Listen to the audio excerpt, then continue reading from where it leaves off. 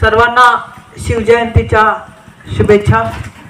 शिवजयंती ही प्रत्येक वर्षी आपण साजरा करतो. प्रत्येक वर्षी शिवजयंती येतेच. पण शिवजयंती ही आपला जीवनातला भाग आहे. एक संस्कृती आहे. एक परंपरा आहे. आज शिवजयंतीला साडेतीनशे वर्ष पूर्ण होत आहेत. आणि या वेळेला आपण जेव्हा ज्या महाराजांनी एवढे गड किल्ले जिंकले. जेव्हा आपण त्या गडावरती जातो तेव्हा आपल्याला असं आपसूक वाटतं की त्या गडांची देखील काळजी घेतली पाहिजे शासनाने. कारण की गड किल्ले हेच शिवाजी महाराजांची संपत्ती होती.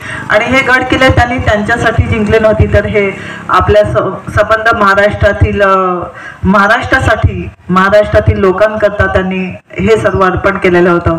शिवाजी महाराजांनी कधीच स्वतःसाठी बंगला किंवा अं, स्वतःसाठी महल असं जसं शहाजहानने आपल्या अं, पत्नीसाठी ताजमहल. तसं त्यांनी काहीच केलं नव्हतं. त्यांनी जे केलं ते लोकांना समर्पित केलं.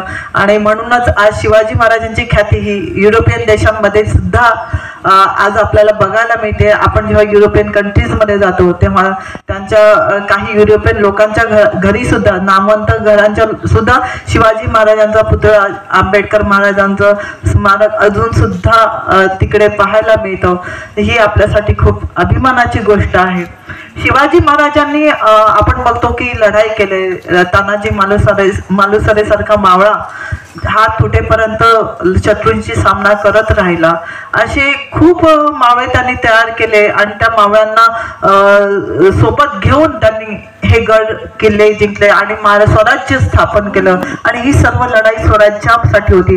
आणि यासाठी अं, महाराजांच्या पत्नी ज्या होत्या सईबाई त्यांनी देखील महिलांना देखील सामावून घेतलेलं होतं हळदी कुंकूच्या माध्यमातून. की या लढाईमध्ये फक्त मावळेच नाही तर अं, त्यांच्या पत्नी किंवा ज्या पण महिला असतील त्यांना त्यांचा देखील तेवढंच मोलाचं योगदान होतं. कारण शिवाजी महाराजांनी महिला ज्या वेळेला शत्रू आक्रमण करत होते आणि महिलांवरती अत्याचार केले जातात त्या महिलांचे महिलांना संरक्षित करणं ही सुद्धा जबाबदारी समजून त्याच्यासाठी देखील काम केलेलं आहे. आणि तसंच आपण बघितलं तर लढाई आणि जे मावळे त्यांच्यासाठी काम करतात त्या मावळ्यांचं रोजचं जीवनातलं त्यांचं त्यांच्यासाठी जे जीवनात अन्न वस्त्र निवारा या तीन गोष्टी गरजेच्या आहेत. त्या गोष्टी कशा पुरवल्या जातील?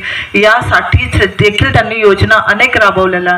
आपण म्हणतो पाणी सिंचनची योजना ही शिवरायांनी पहिली राबवलेली होती. आणि जेव्हा आपलं स्वतंत्र भारत सरकार झालं तेव्हा पाणी सिंचन योजना ही प्रत तीच योजना जी शिवरायांपासून काळात आलेली आहे तीच आपली सरकार राबवत आहे. ती एवढं मोठं काम त्यांनी करून ठेवलेलं आहे. आणि शिवरायांच्या काळातल्या काही योजना त्या आज सुद्धा आपल्याला बघायला मिळत आहेत की ती आपण पाण्याचं सिंचनचं बघितलं की शेतीसाठी आपण शेतीसाठी बी बियाणे हे तेव्हापासून चालत आलेले आहे. ही साडेतीनशे वर्षांची परंपरा आहे.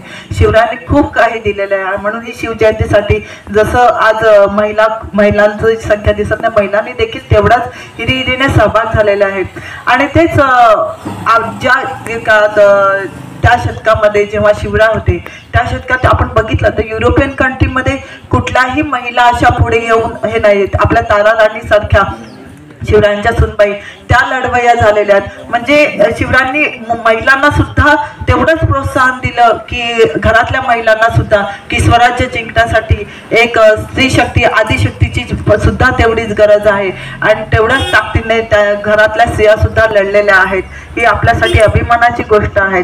आणि आज उप आज म्हणून मला असं वाटतं की सर्व गावातल्या महिला असतील पूजारी असतील त्यांनी शिवजयंतीसाठी सहभाग नक्कीच घेतला पाहिजे. आणि आपण ही शिव शिवजयंती अशीच उत्साहात आणि जोरात दरवर्षी साजरी करू हेच मी तुम्हाला सांगते. धन्यवाद.